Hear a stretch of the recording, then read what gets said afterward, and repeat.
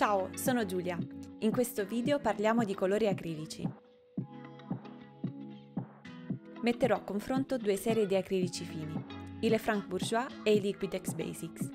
Li utilizzerò per creare delle illustrazioni ispirate a due grandi artisti. Iniziamo! Prima di parlare dei colori ti mostro quali sono gli altri materiali che ho utilizzato. Come supporto ho scelto un album Liquitex Basics che imita la superficie della tela. Gli acrilici possono essere utilizzati su diversi materiali come tela, cartoni telati, legno o cartone. In questi ultimi due casi ti consiglio di preparare il fondo con del gesso acrilico.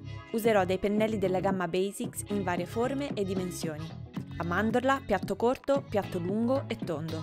Questi pennelli sintetici sono morbidi e mi permettono una stesura facile e uniforme. Se preferisci una pittura materica puoi usare delle spatole. Per miscelare i colori userò una tavolozza in plastica Liquitex.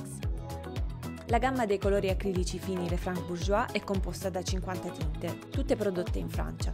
Sono colori di qualità sicuri e affidabili. Iniziamo subito con degli swatch, bianco di titanio, blu primario, bruno van Dyck, giallo di Napoli, ocra rosa, rosso vermiglione. Devi sapere che dei 50 colori acrilici Lefranc Bourgeois, 23 di questi sono monopigmento, il che offre una miscelazione più pura ed efficace. La vernice è densa e facile da stendere. Già con la prima pennellata ho ottenuto un effetto molto coprente. I colori della serie fini sono colori di qualità superiore rispetto alla fascia studio. Le gamme presentano solitamente un numero più ampio di tinte disponibili e sono pensati e formulati per utilizzatori che vanno dal semplice appassionato o al professionista. Sono materiali sicuri affidabili e dal costo contenuto. La resa è satinata e il risultato è omogeneo e uniforme. Ora provo gli acrilici fini Liquitex Basics. I colori che ho scelto sono bianco di titanio, blu primario, giallo primario, magenta quinacridone, nero di Marte, pergamena. Nella gamma Basics trovi in totale 72 tinte e 20 di queste sono monopigmento. Gli acrilici hanno una densità e una viscosità media, quindi si adattano a diversi tipi di lavorazione. La gamma cromatica è molto interessante e richiama la tradizione americana del colore. Ho preparato un bozzetto a matita come traccia. È possibile che durante la lavorazione modificherò un po' il disegno. Parto riempiendo questa forma con il giallo di Napoli, un colore caldo e versatile.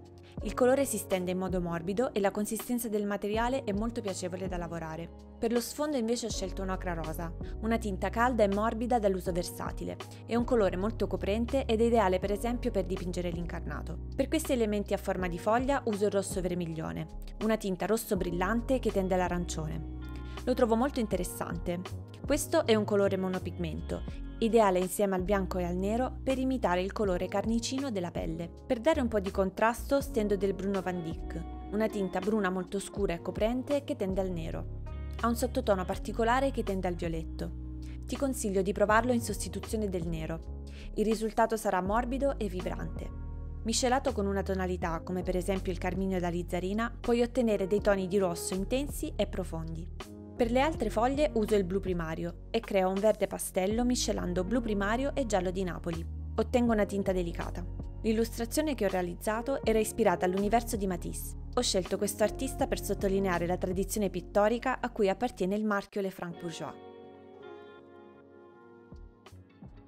Anche per questa illustrazione parto da un disegno. Lo stile è più moderno e ispirato ai lavori di un artista americano. Ti dirò dopo di chi si tratta. Parto dipingendo lo sfondo con il colore pergamena, una tinta fredda e luminosa a base di bianco di titanio. È molto coprente e interessante, perfetta come base per diverse lavorazioni, dal ritratto al paesaggio. Per le figure uso il magenta quinacridone. È una tinta intensa, semitrasparente, monopigmento. È un rosso che tende al viola. Al suo massimo grado di saturazione è un rubino profondo. Invece se steso sottile o a velatura ha una luminosità intensa. Siccome è un colore semitrasparente, per ottenere una stesura coprente bisogna passare un secondo strato. Fai attenzione che lo strato sotto sia completamente asciutto prima di passare a quello successivo. Per la lampadina miscelo il giallo primario con il bianco. Per il cielo invece ottengo un azzurro miscelando blu primario e bianco di titanio. Quando miscelo il colore faccio attenzione a non mescolare. Cerco invece di schiacciare l'acrilico con il pennello, dall'alto verso il basso. Uso pochissima acqua, solo per inumidire il pennello.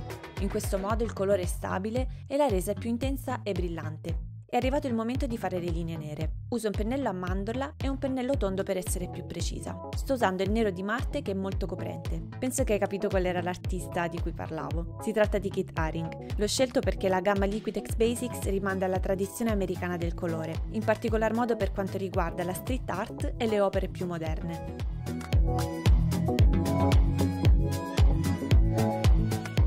Ecco le due illustrazioni a confronto. Puoi vedere che per entrambe ho scelto dei colori molto particolari e che il risultato è molto diverso tra loro. Cosa ne penso di questi acrilici? La differenza tra queste due gamme non sta tanto nella resa finale, ma piuttosto nelle selezioni cromatiche che ogni serie propone. Dal punto di vista qualitativo e della lavorabilità, le due gamme sono piuttosto equivalenti. Sono tutte e due gamme formulate con pigmenti fini di alta qualità. Garantiscono dei parametri di stabilità, permanenza, immediatezza e facilità di lavorazione molto elevate per tutti i livelli di utilizzo. La scelta sarà quindi dettata da quali colori ti ispirano di più, secondo i tuoi gusti e il tuo stile. Se questo video ti è piaciuto fammelo sapere nei commenti e non dimenticare di mettere like e iscriverti al canale. Ciao!